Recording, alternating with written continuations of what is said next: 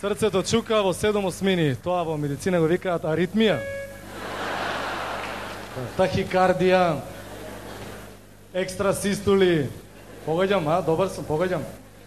Драги мои, живееме во ера на дигитализација. Се е дигитално. Ја- Јас сум запрепастен. Неверојатно е тоа што се случило. Ера на апликации за iPhone. Мола, може од памет да ти извади. Ера апликација за мерење притисок на iPhone. Што збориш? Мерење пулс. Ставаш ти мери пулс. Ти мери расположение, у какво расположение? си? Мајко американско се знае. Значи, се прават на iPhone. Мислам, што е следно сега на iPhone 5, знаеш што ќе стават? Апликација? Рингла. Рингла или Скара.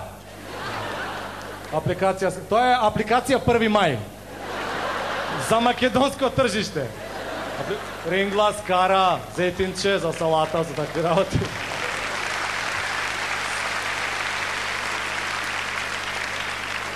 Има апликација за, мислам, каква ќе биде следната, за мерење алкохол.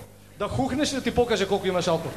Што кога ќе те сопре жандар? Дечка, ајде да дуваш. Фала, имам. Видиме, море. Уназаден еден. Ти ке ми кажуваш да дувам. Што е следно? Ставиш а, у ракија да ти измери колку степени алкохол имаш во ракија. Што е следно? Многу, многу апликации има. бе. Ја, јас сум запрепастен, јас не знам да ги користам. Апликација за владини телефони, сега има нова апликација, да, таа таа е спремна. Апликација лопата, она ласер за сечење ленти, а ваа за 1 мај може да си ја докупиш, апгрейд да направиш за 2 мај, таа се доплаќа. Да. Свашта има на iPhone. Сва... Не знам што ќе биде на плин да работи, не знам што ќе им текне. Значи, избезумени луѓе. И, и имаме и овакво. Еве сега има е дневник, е весник. Мислам ја тоа не може да го користам зашто го лигавам многу телефонот тоа. Не ми иде. Е банка. Банка е банка. Да не можеш на рад да се скараш на шалтер у банка. Ни катастар не е тоа што беше некогаш. Е катастар. Е не знам што. Е влада. Кој владата ќе биде? Е влада. Е влада. Што би рекли од опозиција ќе кажат, е, влада.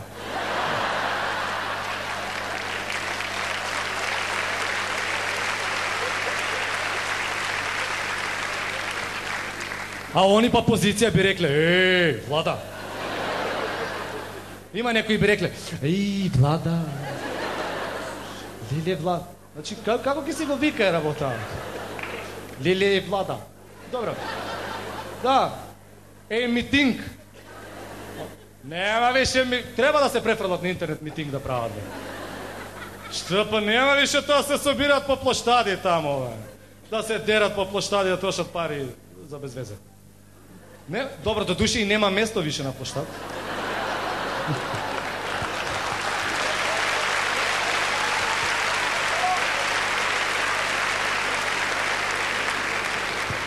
Нема више место.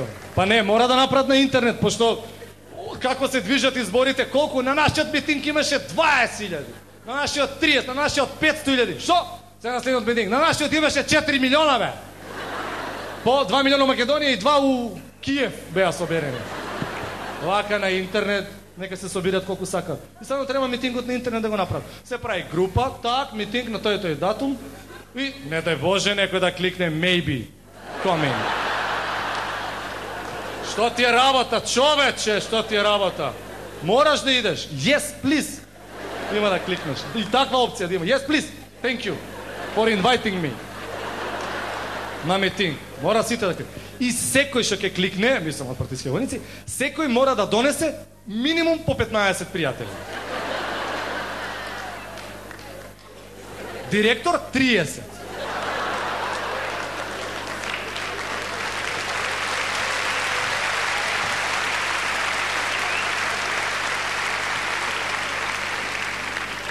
Мора да кликне, так, и да таму, не мора да доаѓаат, нека закачат слики како се сликале пред автобуси. Битола Куманов, Скопје, Охрид, не мора да доаѓаат тука гужва да прават. Се паркираат по автопат. Да, митинг. И шефот, так се искача. Лидерот си лепи еден а, овакво статус си става. И они одма, лайкови, джака, джака, джака, джака, лайкови. И коментарите, кои што се коментарите на Фейсбук. Срце, најубав, ми фалиш.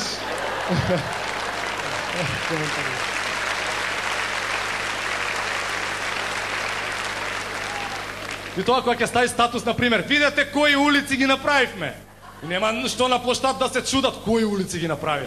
Одма закачува слика. Слика на таа и таа улица. И на сликата лајкови, лајкови, лајкови, сите, лајкови, коментари, срце, најубав си, срцко, убав. Одма си ставаат овакво. И може и музика. Кој сакат може да им пее на, на митинг сега. Е, плачат дали овој ќе биде со овие, дали овој ќе... Кој сакат може да стават. Да- и, на пример, овие пишуваат статус. Видете како ги направивме овие тротоари. И одма лепи песна. Била е краљица тротоара.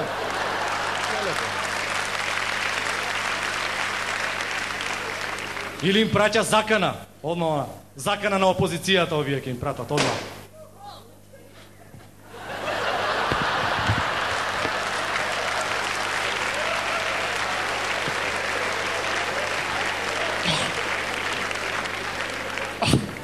Си биле мои хасо?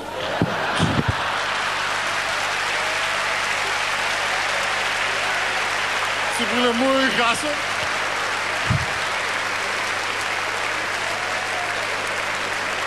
Си биле... Ранен сам. Шо пукна бе? Абе, не ме плашете човече, бе. Шо дувате балоните? Па да, ќе има... И ќе има закана за опозицијата. Так, абе вие немојте ова, ние ова направивме и одма песна. Немој да идеш мојом улицом.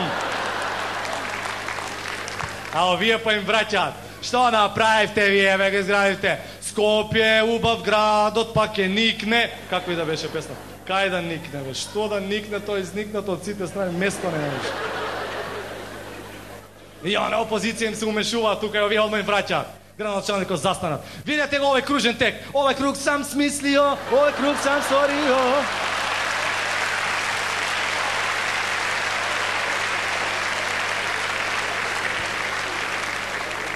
Се треба да биде на интернет.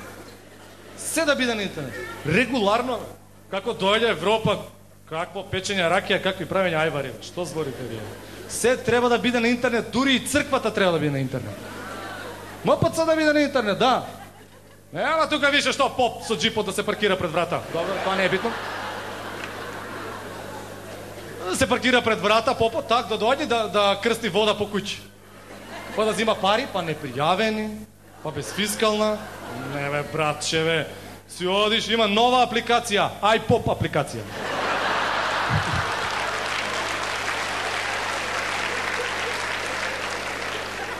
Нова iPop апликација.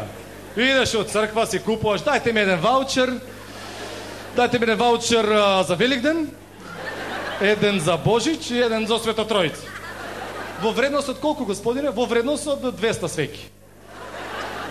Так те поврзува, кликаш на апликацијата, она те поврзува со МПЦ, така. Добар ден, добар ден, автоматчето вика таму. Ги добивте просториите на верските заедници. За МПЦ притиснете еден. За исламска вероисповест два, за останате три. Да. И ти вика, ве молиме, во моментот, сите попови се зафатени.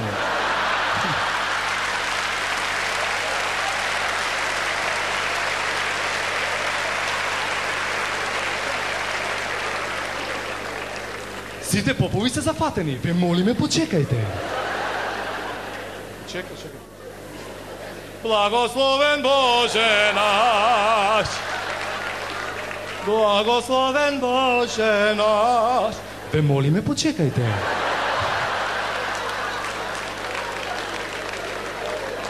Вечна ја памја, вечна ја памја. Чедо, уствари тамо било, чедо, трпение, спасение.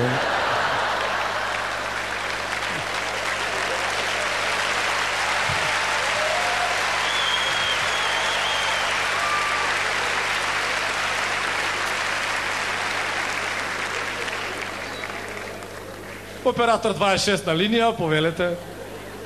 Вечна памја, рингтон, на вашите телефони. 40 денари плюс ДДВ. Оператор 26 на линија, ве молиме. Повелете, господине, ти викам натам. Чедо, повелете. И ти викам, за пар свеки притиснете еден, за не пар притиснете два.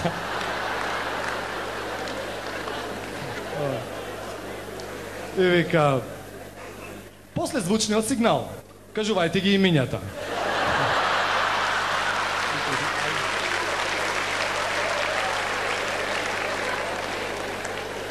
Дониравте 100 денари. Ве молиме, бакнете го телефонот.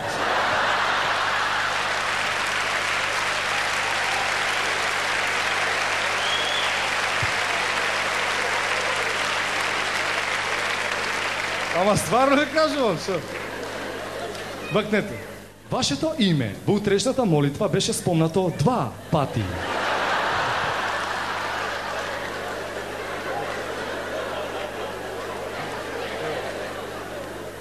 Супер апликација. Е, матично треба да имам апликација. А ме бркаат тука циганчиња со тарабуката бред матиш. Е, матично, бе. Два сати го кажува, после звучниот сигнал, бакнете ја невестата. Вие сте во брак, со среќа. За развод испратете само С.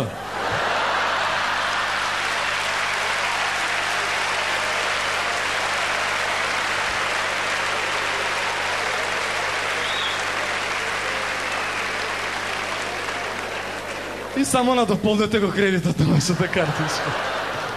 Испратете ја зоната. За нов брак испратете ја само зоната, другото е познато. Да, да. Има за исповедување апликација. Мисе се, шта му да се исповедам? Повеличе до... Но те слуша, и се исповедуваш. Дедо да Попе, многу сум грешен. Кој не е грешен? Знаеш, вака, вчера девојка ми ми се јави и јас картите ги давав на другар ми, пошто у штапа они ме малтретира, јас морав у штап да ги однесам. Знаеш, дека уште не сум вработен. И они рекоа, ти мора да најдеш, ти си заложен карти да најдеш за бомба. Не му ги дав карти. Сега девојка ми ми се љути. И она пошто ми се љути, јас не можам да ја напишам магистерската оваква тема. Е, пошто а и она пишува магистерска тема, јас требаше да ја помогнам. И ќе го загневи тука и попор. Чедо, да ми пратиш ти мене ова на мејл. Кредитот ти е мал. Или стави ми на стикче, и однеси го, колегата ќе го опее. Али молим те, немој да купуваш од оние стикчиња пред овако што ги продаваат. Може имаат вирус. 4 гига ти е доволно. Ја му викам, чека, јас ќе купам ако треба 1 терабајт, ако треба, ќе купам екстерен хардис. Чедо, па тоа е за политичарите, што ти е тебе? Бе? Те молам, че...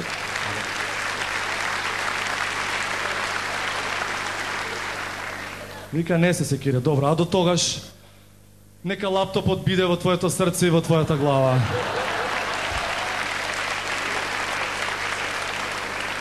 Нека лаптопот биде во твоето срце и во твојата глава. Ентер. Амин.